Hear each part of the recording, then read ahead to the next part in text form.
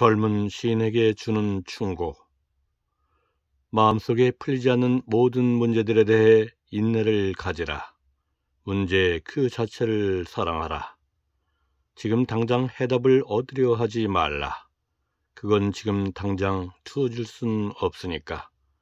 중요한 건 모든 것을 살아보는 일이다. 지금 그 문제들을 살라. 그러면 언젠가 먼 미래에 자신도 알지 못하는 사이에 삶이 너에게 해답을 가져다 줄 테니까. 라이노 마리아 릴케